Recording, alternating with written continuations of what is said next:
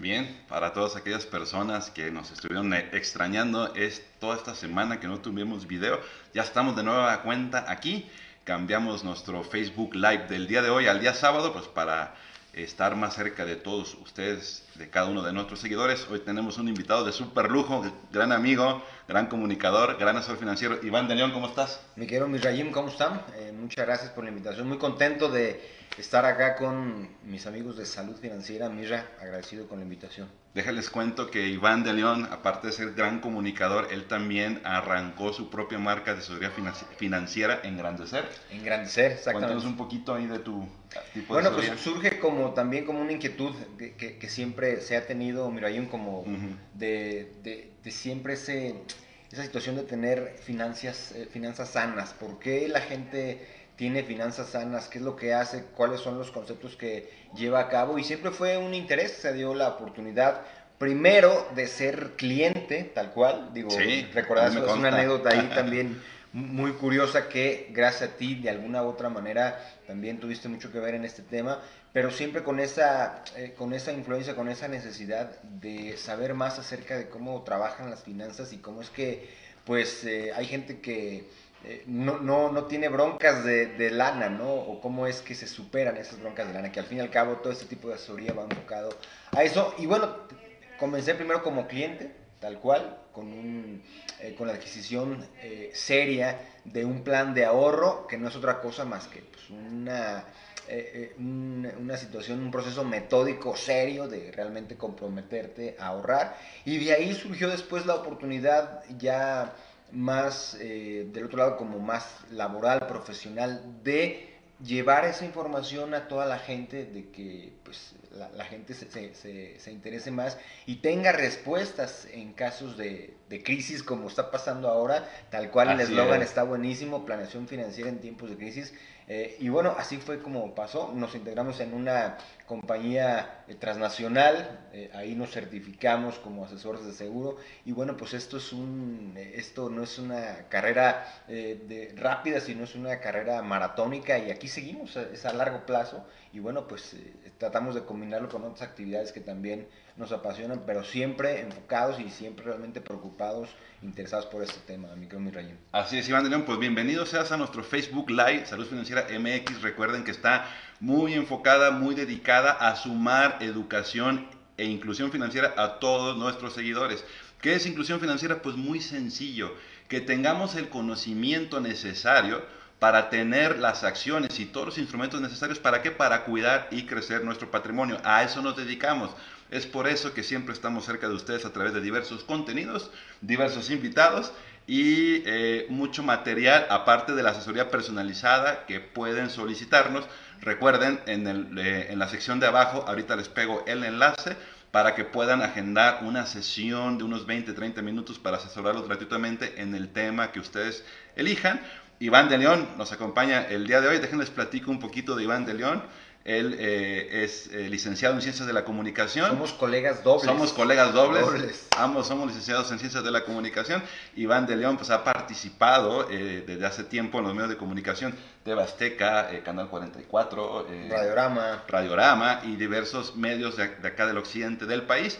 Y también hace unos años empezó su carrera como coach financiero y es por eso que lo invitamos el día de hoy, por dos puntos muy importantes, que nos comparte un poquito de su experiencia como asesor, eh, por qué a mucha gente le está yendo mal en este tiempo de crisis y como comunicador, él está muy enterado de todo lo que sucede aquí en México. Déjenme les cuento, aquí en Jalisco, a partir del día de ayer, el gobernador de Jalisco pues mandó eh, nuevamente eh, tomar medidas un poquito extremas, no extremas, sino tal vez necesarias para contener esta epidemia del COVID-19, que a su vez ha impactado la economía. Iván, platícanos qué está pasando aquí en Jalisco.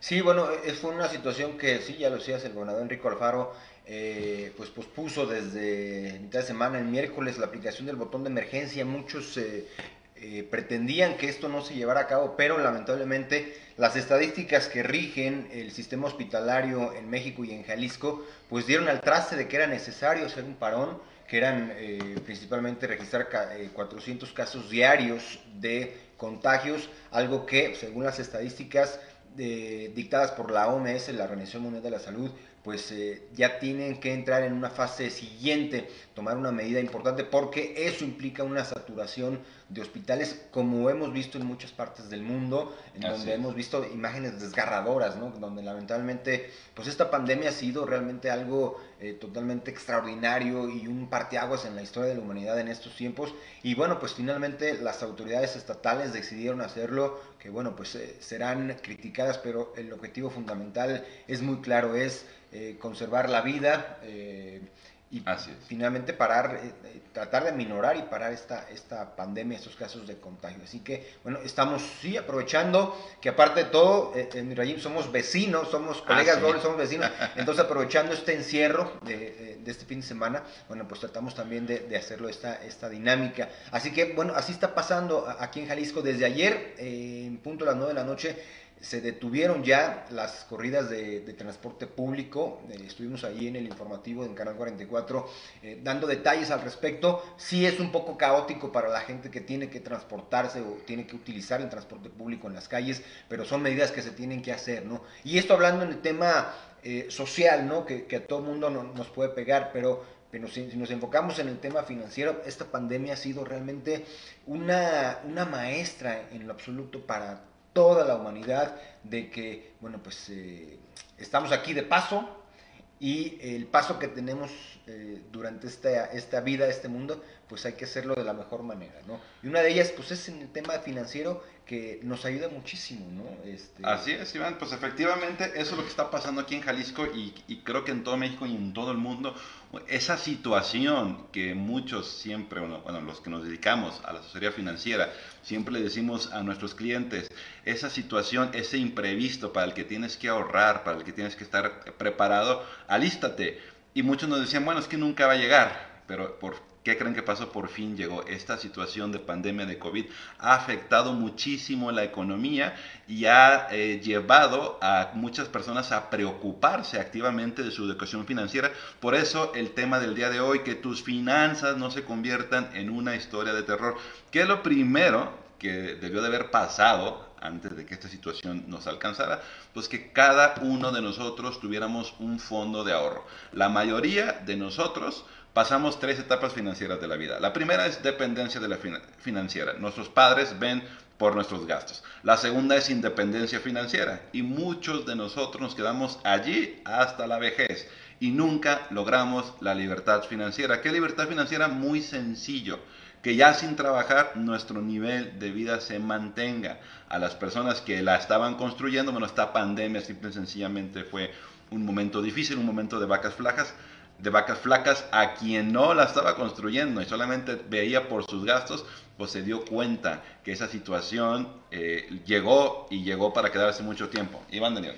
Eh, fíjate, ese tema de libertad financiera es un, es un concepto que a mí me llama mucho la atención y que sé que hasta cierto punto en estos momentos eh, se ha desvirtuado un poco. Me explico. muchos, en esta área de la información hay mucha gente que eh, da a conocer información. Tenemos ahora, eh, yo considero que uno de los principales eh, que, hemos mucho, lector que hemos leído, quiero decir, escritor que hemos leído es Robert Kiyosaki, y él habla mucho de esos, de esos aspectos. ¿Por qué digo que sea mal interpretado? Porque mucha gente ve muy lejana ese concepto de libertad financiera, consideran que es para cuando yo sea millonario, para cuando alcance mi primer millón. Y pues no, la libertad financiera la puede adquirir cualquier persona, como con un proceso riguroso, sí, sistematizado eh, y disciplinado de un ahorro para que llegara a lo que tú eh, comentabas, o sea, eh, conservar nuestro nivel de vida en el tiempo que eh, sea de crisis de vacas gordas o de vacas flacas. Ese es el verdadero concepto de libertad financiera. No lo veamos tan lejano, porque hay autores eh, eh, norteamericanos, todos los autores que se desarrollan en, el tema económico, pues eso nos hacen ver y quizá es una, es una meta lejana, pero finalmente es un concepto que podemos aplicar al aquí y a la ahora todos podemos obtener la libertad financiera mediante, como todo, como se corre un maratón, primero eh, el, arranque, primero los primeros 5 kilómetros, después a los 10 kilómetros y así consecutivamente. Es un paso por paso para llegar a ese punto. Así es, Iván. Entonces quiero compartirles junto con nuestro invitado del día de hoy, precisamente, así como nos comentaba, eh, ¿Cómo es que se logra pues, un maratón? Pues obviamente tiene una, una, etapa de preparación, después una ejecución y después toda una estrategia. Asimismo, la planeación financiera tiene varias etapas o tiene varias pequeñas metas que hay que ir cumpliendo. Número uno es lograr un flujo de efectivo, comenzar a trabajar, comenzar a poner un negocio. ¿Para qué? Para que entre dinero. Número dos, siempre es muy importante primero ver por nuestros gastos. Número tres, con lo que sobre nos pagamos cierto nivel de vida y si al final dejamos el ahorro número 4, ¿qué creen que va a pasar? Nunca nos va a alcanzar para ahorrar. El ahorro tiene que etiquetarse, número 5, desde el presupuesto del gasto y eventualmente este dinero tiene que invertirse en, alcanzar nuestras metas personales, nuestras inversiones, nuestros negocios, nuestros bienes, porque eso es lo que nuevamente nos va a dar flujo de efectivo. ¿Qué es lo que le pasó a mucha gente en esta pandemia? Bueno, la que mejor quedó es que los activos que ya tenía, pues siguieron manteniendo su nivel de vida, incluso si cerró su negocio, si dejó de trabajar. A los que no, ¿Qué es lo que pasó? Que mínimo teníamos que habernos encontrado con un fondo de ahorro, un fondo para emergencias. ¿Cuánto tendremos que tener siempre en un fondo de emergencias? Por lo menos de 3 a 6 meses de nuestro gasto. Y aquí es donde empezó la historia de terror de muchos de nosotros. Efectivamente, Miraim, fíjate, la, mentalidad del japonés, eh, y esa la aplican bastante bien, a comparación a la mentalidad del latino eh, o del mexicano o del jalisciense o del michoacano este, o del queretano, ¿no? Primero gasto y luego ahorro. Así es. Así normalmente lo hacemos, ¿no? Gasto lo que tenga que gastar, le doy en la torre lo que tenga que dar en la torre de Milana. O gasto, ahorro y vuelvo a gastar más. Exactamente. ¿Y qué hace el japonés? No. El japonés primero ahorra, acumula y de lo que sobre ya lo empleo para, para gasto. Gasto corriente, gastos fijos, etcétera. ¿Cómo es el concepto totalmente distinto? ¿no? Así es. Aquí pensamos para eh, la vacación, pensamos el gasto innecesario y después vemos lo que realmente necesitamos. Y eso es uno de los puntos importantes eh, y la diferencia que lo hace con, eh, de, los, de los grandes inversionistas, cómo han logrado su fortuna y de la gente que pues lamentablemente, a veces, y yo me incluyo, pues estamos esperando el, final del mes y el final de la quincena para ver cómo le hacemos, ¿no? Pero bueno, son conceptos totalmente distintos y que hay que ir aprendiendo, como decíamos, metódicamente, paso a paso, llevarlos a cabo. Entonces, platícanos, recuerda que no estamos aquí solamente para sumarte educación o para regañarte si estás viviendo una situación que no debe haber sucedido, sucedido, estamos aquí para ayudarte. Déjanos tus datos, ahorita te vamos a poner aquí abajo el link para poder tener una asesoría contigo totalmente gratuita. Si no, a partir de este momento comiénzanos a preguntar, cuéntenos qué les está pasando, compartan este video para poder llegar a más personas, eso no les cuesta nada. Eh, y platícanos qué les está pasando en este momento. Déjanos aquí tu pregunta y podemos ayudarte de alguna manera. ¿Qué pasó? Pues que a mucha gente esta situación nos agarró sin ahorros. Efectivamente. Eh, desprevenido, pero afortunadamente con, ahorros. Y, quiero ser muy puntual en ese sentido, ¿no? Eh, el tema de los, de los seguros, concretamente, ¿no? A lo que nos dedicamos, Mirayim. Finalmente el, seguro está ahí para cuando lo necesitas, para cuando realmente hay una situación catastrófica como está sucediendo en este momento en, todo el mundo. ¿no? Eh, los seguros se adquieren cuando no los necesitas. Así es. Porque cuando los necesitas ya no los puedes comprar. Así es. Mucha gente ahora, como dices, la planeación financiera tuvo que haber sido desde años antes no ahora, porque realmente ahora ya es materialmente imposible y hay que salirle como puedas. Pero finalmente, ¿qué nos enseña esta pandemia? De estar preparados en todos los sentidos y en el tema financiero mucho más. Y bueno, quiero también eh, dar un pequeño ejemplo de cómo todos realmente podemos ahorrar, porque también tenemos hasta culturalmente eh, metidos en esa idea del no tengo dinero. Eso hasta los autores de metafísica te dicen, no lo digas porque tu mente se lo cree y de alguna manera eh, eh, tu situación, tu universo, tu, tu, deidad te va a ayudar a que tengas Efectivamente, no ¿Cuántos ejemplos hay y muy cercanos de gente que ha tenido una gran acumulación de dinero que al paso de los años eh, pues le ha dado en la madre? Yo tengo un caso muy cercano de, familiares que tuvieron una acumulación, y creo que todos tenemos a alguien muy cercano así, tuvieron una gran acumulación de dinero por situaciones de la vida y que al paso del tiempo pues eh, no, no se tiene, no la tienen ahora, ¿no? Entonces, bueno, ¿qué es planeación financiera? Y yo quiero dar un ejemplo bien sencillo y que traigo aquí con, conmigo eh, para mostrar como un ejemplo muy, muy simple, ¿no? Si se me permite, a ver, quiero primero que se escuche algo así, ¿no? Las monedas. Hace algunos años, claro, hace algunos años, eh, me imagino que recordarás, comenzó un reto de ahorro de monedas de 10 pesos o de 5 pesos con el tema del centenario de la, de la independencia. Sí, de la revolución y el centenario de la independencia, exactamente. Eh, en donde, bueno, había monedas conmemorativas que primero se guardaban eh, para coleccionarlas, ¿no? Con los héroes de la independencia, de la revolución, y que después comenzó ese reto, ¿no? De las famosas monedas de 10. Mucha gente abrió botellas de, de, agua, de, garrafones para meterlas. El tinaco, ah, no, no, Imagínate, estaría buenísimo. hablando del tinaco, sería excelente. Y, comenzó hace algunos años ese, ese reto, que a mí me pareció fabuloso porque era fomentar eh, pues el ahorro de alguna manera, ¿no? Fomentar de una manera infantil, ¿no? Porque eso para hasta para los niños era, era bueno, ¿no? Siempre fomentarlo, ¿no?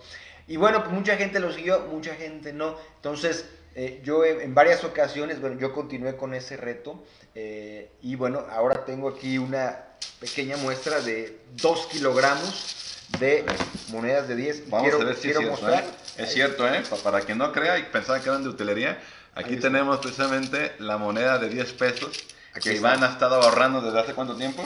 Esto es año y medio. Año y medio. Esto es año y medio, ¿eh? ¿Cómo cuánto será aquí? Eh, aquí son aproximadamente, no lo he contado, bueno, quiero que se vea un poco. Bueno, él tiene su fondo de emergencias. Ojo, este fondo tengo año y medio con, con él porque hace año y medio lo utilicé, lo tengo que decir, para unas vacaciones.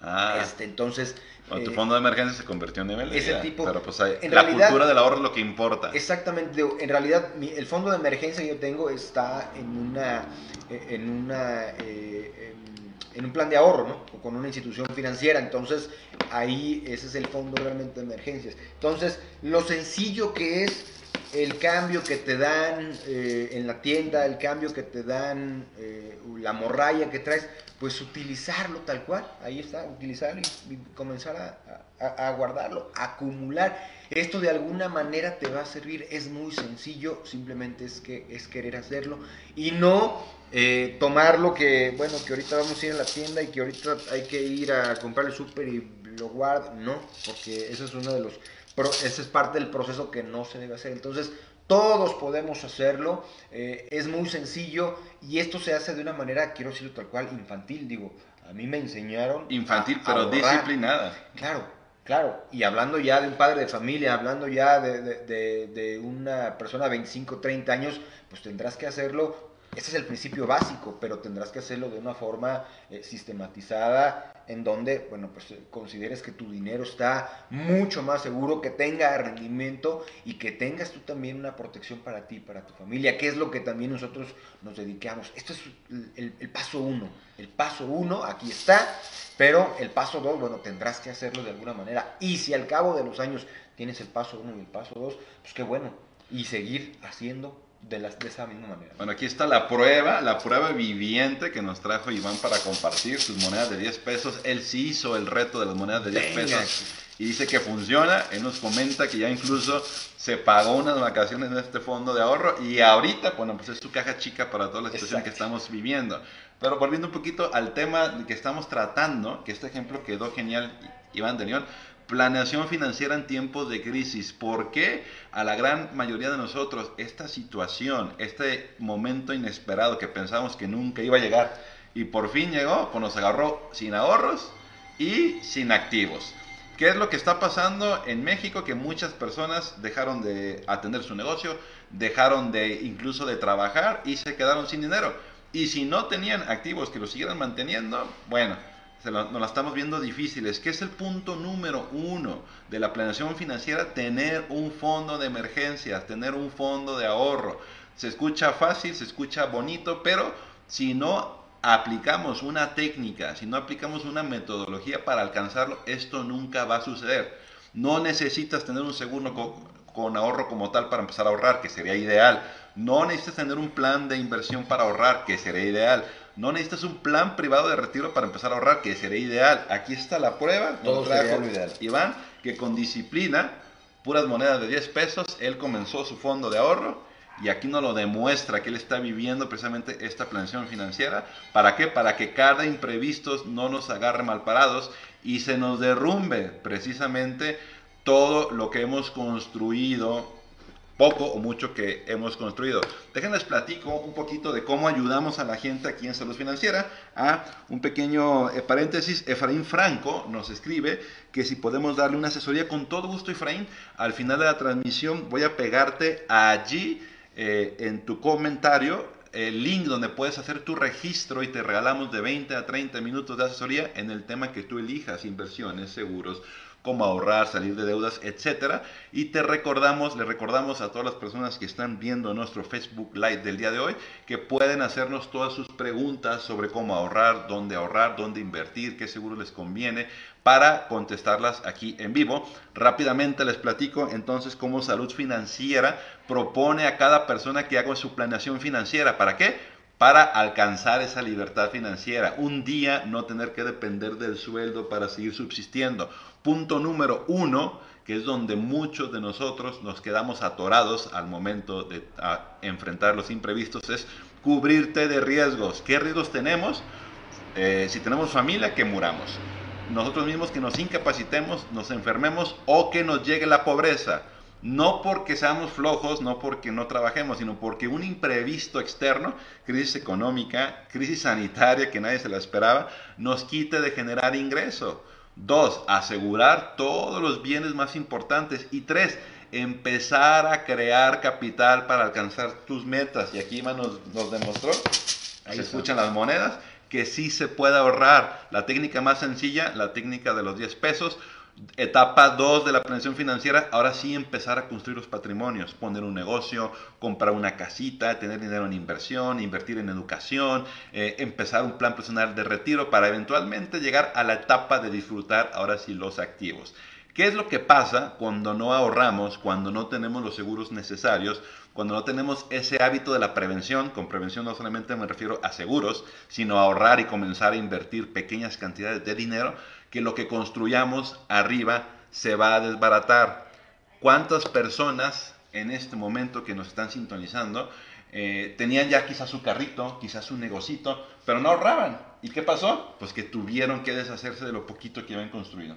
Esa, esa pirámide eh, ejemplifica muchísimas cosas y la pregunta es, ¿en dónde, en qué nivel estás parado tú en este momento? Si estás apenas, apenas en el tema de la, de la planificación o ya tienes algo acumulado y no sabes qué hacer con él. Que bueno, ya lo decías hace un momento, Mirayim, en el tema fundamental, en la base de esa pirámide es donde la pandemia llegó a deshacer con todos, o sea, destruyó negocios, lamentablemente destruyó familias, pues una enfermedad. Y les tengo un dato realmente que, que, a mí me, me, impresiona. La AMIS, la Asociación Mexicana de Instituciones de Seguros, mencionó con datos recientes de, del pasado mes de octubre que tiene registrados apenas 12 mil casos eh, de personas aseguradas con un, eh, con un plan de gastos médicos. Apenas 12 mil personas en todo México se han atendido en un hospital privado porque tienen el respaldo de un eh, seguro de gastos médicos mayores. Ojo, la pandemia ya ha tenido en México 900 mil contagios. Estamos hablando de menos, eh, menos del 10% de personas que lamentablemente han sufrido de esta enfermedad y que han tenido la fortuna de atenderse en un hospital privado eh, porque tienen un gastos médicos mayores. yo te pregunto, ahora y al pasar de los meses, porque ya no estamos en el mes de marzo ni de abril, donde nadie, hasta todo mundo ponía en duda esta enfermedad, pregunto y de manera eh, seria y con un tono lamentable, ¿cuántas personas conoces que se han enfermado de COVID? ¿Conoces a gente que se ha enfermado sí, de COVID? Sí, ya incluso que han fallecido de esta enfermedad. Esa es la segunda pregunta. ¿Conoces a alguien que lamentablemente haya fallecido de COVID? Yo sí, un familiar. Y hasta que esas cosas pasan, realmente medimos la gravedad de la situación que está pasando. Otro dato que realmente es, es desgarrador, eh, mi eh, el, tema, cómo, cómo se ha eh, lamentablemente reabierto la brecha de la gente que se atiende en un hospital privado que tiene un gastos médicos mayores a la gente que tiene que utilizar el, servicio sanitario público, el IMSS. El dato es desgarrador. Eh, de, eh, del 100% de personas que se atienden en hospitales privados por eh, enfermedades por COVID-19 en este momento en la pandemia, el 75% han, han vivido para contarlo tal cual. Y en contraparte, los que se han atendido en el sector público solamente eh, que tienen en una etapa de eh, terapia intensiva el 10% eh, ha sobrevivido. O sea, el dato es contrastante y desgarrador. Entonces, ¿qué pasa? Sabemos de antemano que los servicios de, sanidad en México públicos, pues no son...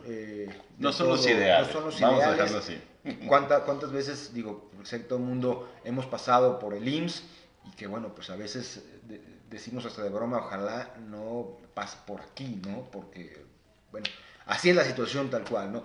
lo que queremos llegar es esa planificación que tuvieron esas personas, ahora les salvó la vida, literal, por atenderse en una institución privada con un seguro de gastos médicos. Te tengo otro dato, el promedio de costo de una, de, una atención de, de, COVID para un paciente de COVID es de 348 mil pesos. Eso cuesta... Eso cuesta. No, ajustamos, no, con eso no ¿eh? ajustamos. Qué bueno que hay ahorros, pero no pero, ajustamos. Pero con esto sí ajusto adquirir un seguro de gastos médicos.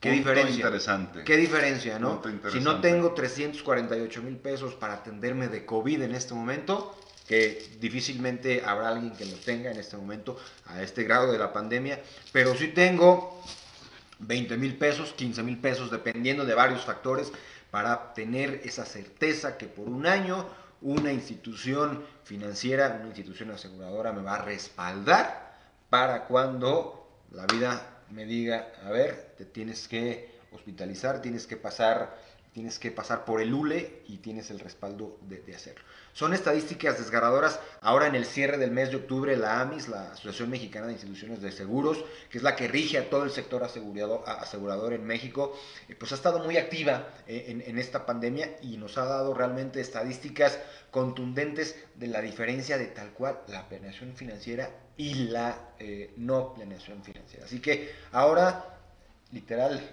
mis amigos, es de vida o muerte, está siendo en este momento la planeación financiera.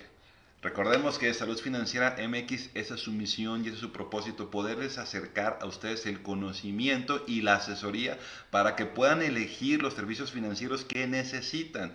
La planeación financiera es algo como una mesa que se sostiene de varias patas. Insistimos mucho en inversiones, en inmuebles, en modelos pues, para que el dinero crezca más, en PPRs, pero casi nunca hablamos de la parte de la prevención, de la parte de la protección de los activos.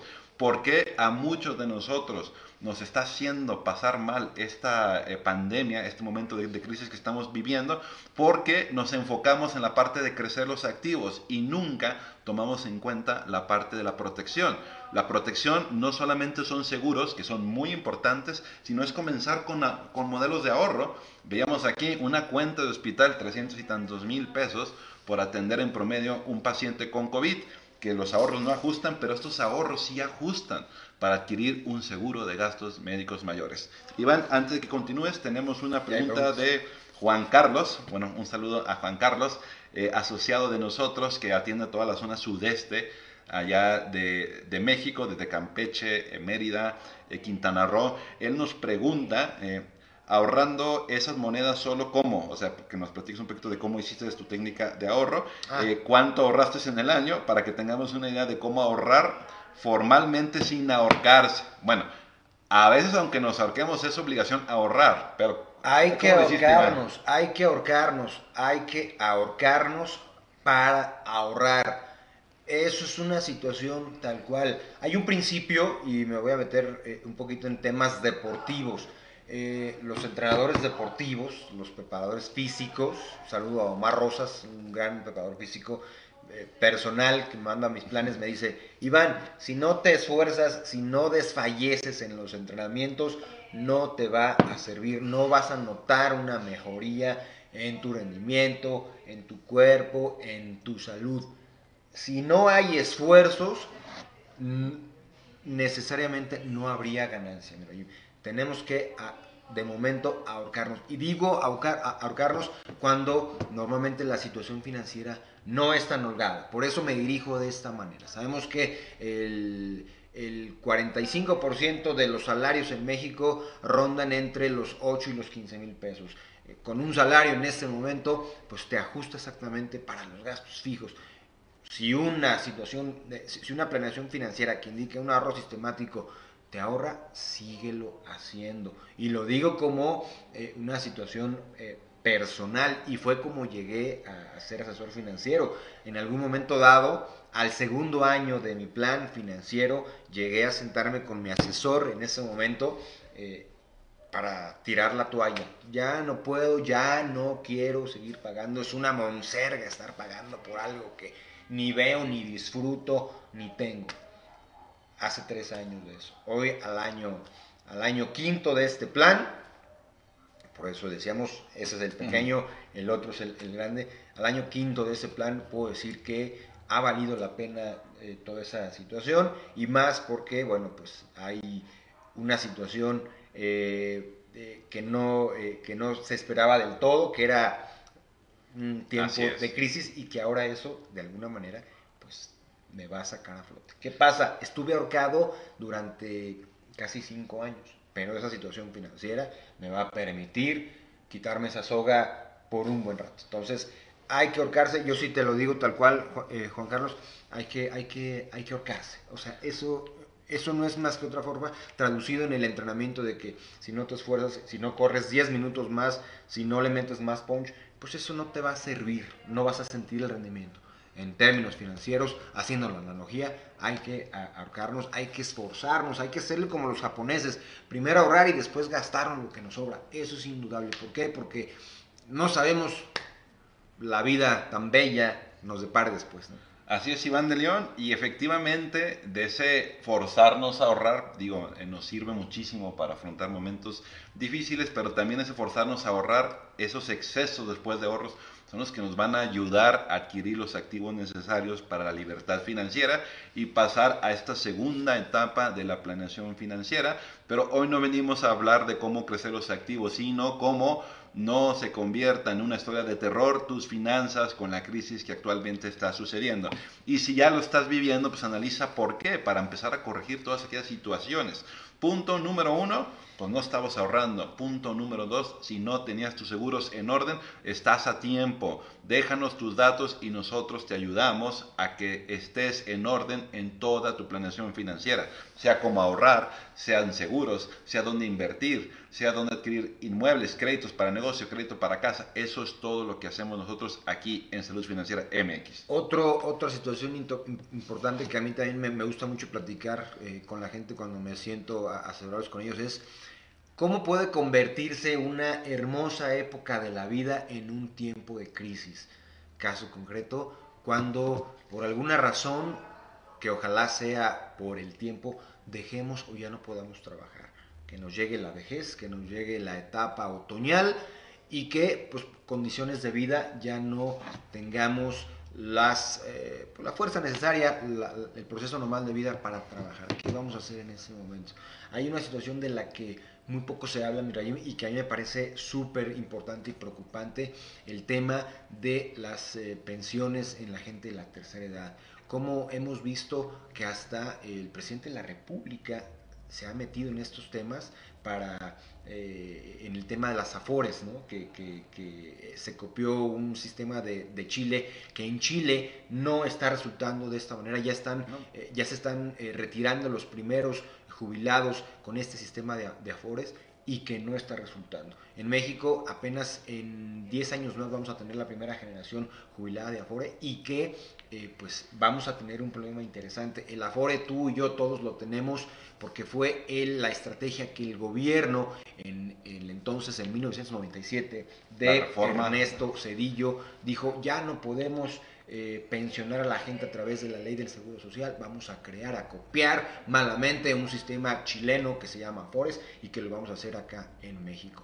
Si tú tienes el privilegio de que tengas y utilices la ley 73, ahorita entramos a más detalle que a mí me, parece bien interesante, eh, tienes que asesorarte, tienes que acercarte, tienes que sacarle provecho, sacarle jugo a esa ley. Si tú eres ley 97, pues amigo mío, como todos nosotros, eh, tienes que meterle mucho más pon, tienes que crear muchas bolsas de esas porque cuando ya no puedas trabajar, eh, no vivamos lo que estoy seguro tú y yo tenemos algún familiar cercano que vive sus años otoñales y que viven en pobreza porque lamentablemente no planearon en su tiempo. Oye, Iván, a, mí se me ocurre una pregunta que incluso ya, ya he visto en varias publicaciones de, de, páginas que se dedican a la finanza y nosotros mismos hemos generado contenido sobre esa cuestión. ¿Podríamos tomar esta situación de, de crisis financiera por el COVID y la pandemia como una probadita de cómo nos pueden agarrar eh, cómo nos puede agarrar la etapa de retiro sin dinero? Lo es, lo es tal cual. Imagínate esta pandemia a partir de tus 60 años y que te dure 15 años, que es el promedio de vida actualmente según cifras del INEGI, que es lo que vive el mexicano, 85 y 85 eh, años para mujeres y 83 años hombres. Es el promedio de vida que es según las estadísticas del INEGI. Imagínate, tienes 60 años, ya no puedes trabajar, las oportunidades laborales son menores y digo, es totalmente normal que te llegue una, la pandemia de no tener recursos, de no tener trabajo a tus 60 años. ¿Qué vas a hacer si tienes hijos? Depender de tus hijos qué vas a hacer, eh, tienes algún activo que ojalá lo tengas, que esa es la idea, por eso estamos aquí dándote lata, para que realmente lo comiences a generar desde ahora. Es una pregunta bien interesante, mira, me, realmente das en el clavo, o sea, esta pandemia es, nos guste o no, una maestra de vida para la humanidad. ¿Cómo nos agarra la pandemia en este momento? Imagina la pandemia a tus 60 años, hablando de la analogía de que no tengas eh, cómo trabajar. Trabajo, ahorro, activos, nada. Entonces, eso es bien interesante, ¿no? Eh, y, en el tema, digo, eh, eh, hay gente que también pregunta mucho y desconoce cuál es la ley 73 y cuál es la ley 97. A partir del el primero de julio de 1997, el gobierno federal hace una reforma y dice, a partir de ahora, las personas que comiencen a trabajar y cotizar en el seguro social primero de julio de 1997, apunten la fecha, van a retirarse con un esquema que se llama Afore. Perfecto, ¿cómo funciona? Ahorita lo platicamos. La gente que tiene la fortuna de estar registrado en el Instituto Mexicano de Seguro Social trabajando de, eh, esa fecha hacia atrás, pertenecen a la, a la ley 73 ¿Cómo es eso? La ley 73 implica que tienes derecho a una pensión de acuerdo a dos factores fundamentales. Las semanas cotizadas principalmente y cómo eh, eh, tu sueldo, tu salario promedio de las últimas, eh, los últimos cinco años de tus semanas cotizadas. Sin entrar en tantos detalles, solamente hacer un llamado a la gente que se asesore, que levante la mano, que nos pregunte, yo soy ley 73, yo soy ley 97, o yo no sé qué carajo ley soy, pues preocúpate todavía más porque tienes que saber primero qué hacer para que tienes todavía, de acuerdo a tu edad, pues años para preparar esa etapa de la vida, eh, porque los tiempos han cambiado. Quizá nuestros padres fueron los últimos que en promedio tenían dos a tres hijos, nuestros abuelos que tenían de 6 a 8 o más hijos a todo dar, porque ellos eh, en su etapa otoñal pues dependían de los hijos y era normal, ¿no? Ya nuestros padres nos dieron, ahora entre los 6, 7, 8 hijos pues hay que darle a nuestros padres, pero ahora los, la vida ha cambiado, la, el nivel de vida ha cambiado, eh, las familias han cambiado, ya tenemos o hay menos hijos, entonces la pregunta es, ¿le vas a cargar la mano a tus hijos cuando cuando tú seas mayor, es justo, no es justo. Ya hablamos de otras condiciones quizá de, mentalidad, pero ¿qué sería lo más correcto? ¿no? Y hay un ejemplo clarísimo, y lo voy a decir tal cual. Imagínate, eh, en un, afortunadamente lo comparto en el mes de diciembre, si todo sale bien, si Dios quiere, me estreno como, como, como papá. esta analogía me, me quebró el corazón cuando me la contaron y no era papá ni estaba en camino ni lo vislumbraba, ¿no?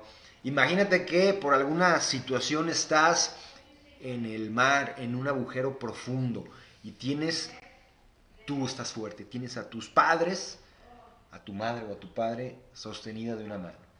Y de otro lado, a tus hijos. Estás nadando ahí en el mar, te estás cansando, el oleaje está acrecentando, la lancha los dejó, se volteó, iban, eh, iban en la banana, hacerle un poquito, eh, eh, un en banana y se volteó la banana, ¿no? Iban tus padres y tus hijos.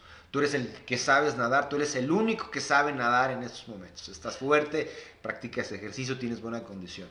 Tienes a tus padres por un lado, o a tu madre o a tu padre por un lado sosteniendo. Del otro lado, tienes a tus hijos. Tus brazos están cansando. El sol arrecia. El oleaje está aumentando. Y la lancha, la banana no viene porque tuvo un daño. Están esperando a que alguien venga a rescatarlos del muelle. La pregunta es, ¿a quién vas a soltar? ¿A tus padres o a tus hijos? No, es, pues yo es- creo que es desgarrador y, mucha si gente no contestaría esta pregunta. y si lo visualizas, te ves en ese momento y dices, carajo, ¿a quién voy a soltar? Una situación difícil, pero creo que nadie eh, diría lo contrario. Soltaría a mis padres. Así y es. sostendría a mis hijos. Esto no termina aquí. ¿Qué pasaría si esa misma situación, muchos años después, sucede exactamente igual, pero quien te está sosteniendo es tu hijo? ¿A quién crees que tu hijo suelte? ¿A ti o a sus hijos? Es, es impresionante y es contundente. No, pues una, Es- es una razón muy, muy emotiva para considerar que nosotros seamos la persona que cuide, nuestro yo joven que sea quien cuide a nuestro yo viejo. Y eso es lo que va a suceder tarde o temprano en nuestras vidas. El momento en que nosotros soltemos a nuestros padres y sostengamos a nuestros hijos. Y viceversa. Nos sostengan o nos suelten. Esa es la realidad. Eso va a pasar en algún momento de la vida y finalmente, pues para eso se planea, para eso hay solución, afortunadamente, pero esas soluciones se hacen desde muchos años atrás. Desde cuando ni lo piensas que puede suceder, es cuando se tienen que poner en marcha estas, estos planes, eh, eh, est- estos planes, es poner en marcha estos proyectos y darle para adelante. Realmente son situaciones eh, contundentes, Mirayim, y bueno, la invitación ahí está, que la gente nos siga mandando sus preguntas y con todo gusto podemos platicar. Así es de apasionante estos temas. ¿Por qué? Porque todo mundo necesitamos de dinero, porque todo mundo necesitamos planificar y porque todo mundo necesitamos de un respaldo financiero serio, contundente, sistemático y disciplinado. Es una fuerte reflexión la que nos plantea Iván de León el día de hoy, el, el gran comunicador y asesor financiero, que incluso me consta que él, que, él que él está viviendo todo esto que les predica, nos lo vino a comprobar y recientemente, hace una- unas semanas con toda esta situación difícil que se está pasando, me comentaba que planeaba hacer precisamente un rescate de un seguro con ahorro que él tiene, para que se den cuenta que sí funcionan. Todos estos modelos de ahorro, todos estos seguros que necesitamos para cubrir la salud nuestra y de nuestra familia, todos estos seguros de vida con ahorro, todos los modelos de inversión que ya les hemos planteado, todos los modelos de PPR, en algún momento de su vida van a ser el flujo de efectivo para evitar, si ya la estás viviendo, que no te vuelva a pasar, para evitar que vivas una historia de terror en tus finanzas personales. Eh, bien, ya casi hacia la recta final de nuestra transmisión de Facebook Live del día de hoy, y agradeciendo la ¿Ya tan presencia pronto? de Iván de León. Uy, Me- se está ¿no? pasando rápido. Eh, vamos a dar unos minutos más. Recuerden, eh, siempre unos 10-15 minutos antes de terminar nuestro video en vivo, les decimos que nos hagan todas las preguntas que quieran hacernos. Nos preguntaba eh, por ahí otra persona que dónde puede agendar su cita, su sesión informativa sobre asesoría financiera y finanzas personales puede hacerlo en el enlace que les pegué en los comentarios en la parte de abajo. Aparezco como Misrayim González, no pude postear como, como salud financiera, algo por ahí falló, pero ahí está el enlace donde pueden dejarnos sus datos y un coach financiero profesional los va a contactar para ayudarlos en temas precisamente de prevención, de cómo ahorrar, cómo invertir, cómo empezar a crecer su patrimonio o prever una etapa difícil de la vida como es la vejez. Fíjense, todo es bien interesante, ¿no? Eh, el asesor financiero, el coach financiero es eh, como un sastre, a la vieja usanza. Vas, te mide tu saco, te mide la solapa, cómo te gusta, ajustado, un poco flojo el pantalón. Esa es la medida, ¿por qué? Porque cada persona atravesamos situaciones distintas, porque cada persona tenemos objetivos distintos, eh, pero eh, lo que cada persona realmente tenemos eh, es la necesidad de una seguridad financiera. Eso todo lo tenemos. Entonces, para llegar a ese camino, tenemos distintas, distintas carreteras, pero todas llegan ahí. ¿Cuál es la que mejor conviene a tu situación? Para eso, para eso es eh, que tenemos que sentarnos, para eso es que tenemos que platicar y conocer un poco, ¿no? Nuestra labor también como asesor financiero es eh, realizar alguna especie de pregunta, como cuando vamos al médico, el médico te pregunta eh, tus síntomas, desde cuándo los tienes, cómo los tienes y cuál es la mejor solución para ese tratamiento que tanto te, te, aqueja y te adolece. Es algo muy parecido y quiero también ser muy, pues muy franco, muy directo en este momento, en esta era de información donde nos metemos al Facebook, al WhatsApp, al, eh, eh, al Twitter, al, bueno, al TikTok, yo no, yo no, la verdad, ni, se me antoja meterme en esa red social, exactamente. Eh, en Instagram hay mucha información, la verdad hay mucha información y qué bueno. La responsabilidad de nosotros es pues que esa información realmente sea la que nos, nos conviene. Y qué mejor como cuando vas a comprar un televisor, cuando vas a hacer una compra, yo soy de las personas de que ves una, no sé tú, mira, ves una, vez dos, ves tres opciones a, distintos, distintos eh, centros o tiendas.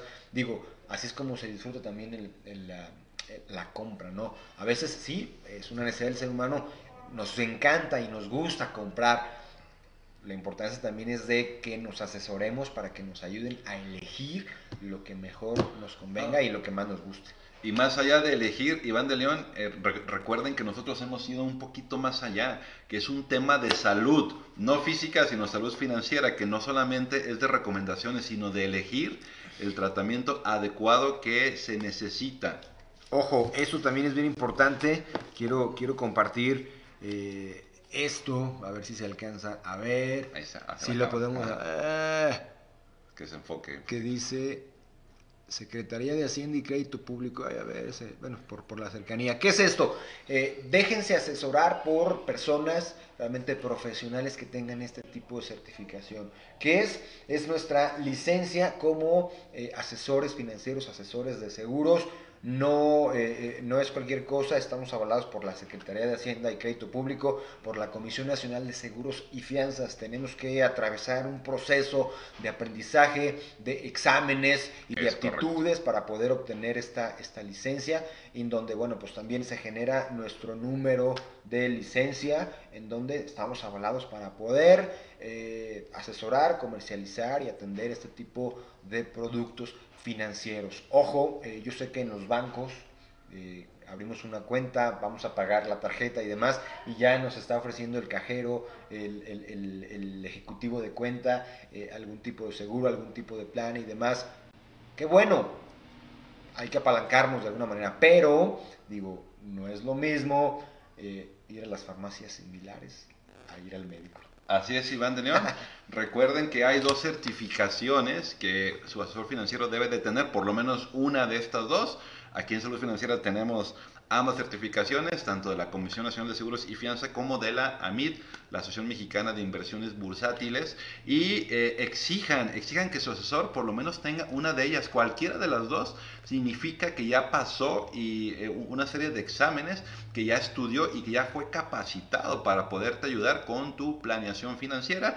Eh, ojo con esto, el ejecutivo del banco no es asesor financiero, el ejecutivo de préstamos no es asesor financiero, quien invierte en bolsa porque le gusta no es asesor financiero. Entonces te invitamos a que tu planeación financiera la hagas con un asesor financiero profesional, con un verdadero asesor financiero. Recuerden que aquí en Salud Financiera MX tenemos a su disposición todo el tiempo del mundo. Agenda una cita con nosotros. Les dejamos enlace en la parte de abajo. Y antes de terminar, eh, precisamente por hablando de la planeación financiera en tiempos de crisis, quiero repetirles y que Iván de León nos comente un poquito. Él también ayudó a desarrollar este mapa, esta metodología de cómo tiene que llevarse una planeación financiera. Iván de León. Gracias, Miriam. E, en esta pirámide a mí me encanta porque eh, pues así como se construyen las pirámides, se construyen de lo más fuerte, la parte importante de una pirámide está en, eh, la parte más cercana al suelo, que es, bueno, pues en este momento eh, lo principal, cubrirte de riesgos financieros. ¿Cuáles son esos riesgos financieros? Número uno, la muerte, que tú dejes de estar en este plano eh, o por alguna situación, una incapacidad, que no puedas trabajar, que no puedas generar ingresos enfermedad y, por supuesto, la pobreza. ¿Por qué? Porque estos riesgos financieros nos llevan sí o sí en un momento dado a la pobreza. Hay que asegurar primero a la persona, a la persona, a ti que eres el que generas los ingresos. Después pasamos a la parte medular de una, de una pirámide. Si ya estás generando, ¿cómo lo estás generando? Crear una estrategia para que eso que estás generando esté seguro y de ahí poder eh, planificar una meta. Metas hay muchísimas.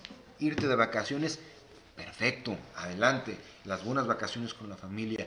Asegurar eh, la educación de tus hijos para que pase lo que pase a la edad de la universidad, ellos les asegures una educación universitaria. Eso puede ser una meta, una meta intermedia que tengas tú el eh, flujo necesario para poder eh, instalar un negocio fomentar una inversión, eso también es importante. O pensar también ya comenzar que este flujo se vaya directamente a tu retiro, pensando en un plan de ahorro para el retiro. ¿Qué hacer más arriba en la etapa que a mí más me gusta, en la etapa de disfrutar, mi rayim, que es lo que ya hicimos? Eh, aseguramos la parte medular, la parte fuerte, la parte importante de la pirámide abajo, ya planificamos ahora disfrutar, como con los activos, lo dice Robert Kiyosaki, que tus gustos, que eh, eh, todos tus gastos superfluos lo gasten, lo, perdón, lo solventen los, activos. ¿Cuáles son los activos? El activo no es otra cosa que una situación que tú generas con tu propio dinero para que te dé más, que te genere más dinero. Los activos pueden ser desde eh, lo que todo el mundo considera que es eh, pues vivir de las rentas, ¿no? comprar una casa, comprar un local, comprar un bien inmueble para rentarlo. Perfecto, todos tenemos esa eh, en, en la cabeza esa cuestión, pero hay diversas maneras de generar un activo y actualmente, bueno, pues podemos encontrar hasta comprar un coche, rentarlo, eh, generar un fondo de inversión para que trabaje de alguna manera solo, midiendo los riesgos que esto pueda tener y tener un flujo de dinero. En fin, hay diversas maneras, muchos compran joyas, muchos compran eh, obras de arte, que también puede ser eh, una especie de inversión a largo plazo, algo que te dé a ti en lo sucesivo un flujo de dinero. Esos son los activos. Y bueno, pues eso es lo importante para poderlo también nosotros eh, mostrar y eh, solventar una situación de ese tipo. Y si apenas vas comenzando tus acciones para la, tu planeación financiera, aquí Iván de León nos vino a demostrar con su venga, venga, reto de ahorro con moneda de 10 pesos que se puede lograr. Puedes empezar con lo más sencillo y contener siempre tus esquemas de protección de seguros en orden, ya sea el de gastos médicos, el de tu casa, el de tu carro, etcétera. Bien, Iván de León, pues hemos terminado nuestro video del día de hoy. ¿Algo más que nos quieras compartir antes pues Muchísimas gracias, Miraim. La verdad, este, se nos pasó rapidísimo el tiempo. Esperemos que no sea la, bueno, no es la primera, porque hace un año estuviste en el show del dinero, claro. Él nos invitó a su programa, ahora nosotros invitamos a Iván. No, estas interacciones son, son muy buenas, la verdad, este, buenísimo, gracias a la gente que, que, se pudo conectar y a la gente que posteriormente nos vea después, acérquense con toda confianza, que, que, que deje de convertirse en un tabú los temas de, los temas de dinero. A ver, señores, estamos nosotros, y decirlo tal cual, nosotros estamos en, eh, en la... Eh, en la mitad, somos medianeros en, el esquema económico, en la... Ah, en la guerra de castas, digámoslo así, ¿no? Hay que tal cual decirlos, sé que a los ricos, a los millonarios tienen su forma de ser y demás y es inalcanzable. Venga, entre nosotros hay que juntarnos, entre nosotros hay que reunirnos, entre nosotros hay que compartirnos, qué has hecho tú, qué has hecho tú para poder generar lo que estás teniendo, cómo lo cuidas, cómo lo creces, con quién te asesoras, eh, a qué instituciones financieras vas, qué me recomiendas. Venga, hay que hacerlo, hay que hacerlo. Esta información está eh, en boca de todos, está disponible de todos para todos y bueno, pues la responsabilidad es de todos poder asesorarnos bien para tomar una buena decisión en el futuro porque esas decisiones repercuten directamente en ti y en tu familia. Salud Financiera MX, además de sumarte toda la educación financiera y todos los contenidos que nosotros pensamos que pueden ayudarte con tu planeación financiera, también puede asesorarte directamente para ayudarte a cuidar y crecer tu patrimonio. En comentarios está la liga, déjanos tus datos y tendrás acceso a unos 20 o 30 minutos en una llamada o en un Zoom para que podamos ayudarte a cumplir todas tus metas financieras. Bien, Iván Daniel. Muchas gracias, la verdad, muchas gracias. Felicito Salud Financiera MX que está abarrotado de seguidores en la página de Facebook que yo ya la seguía sin saber que era tuya, Ibrahim, y cómo, ido creciendo, cómo ido creciendo poco a poco. Felicitarte por ese esfuerzo y que bueno, que sigamos ayudando a muchísima gente. ¿no? Gracias por acompañarnos. Venga, saludos, gracias. Hasta la próxima.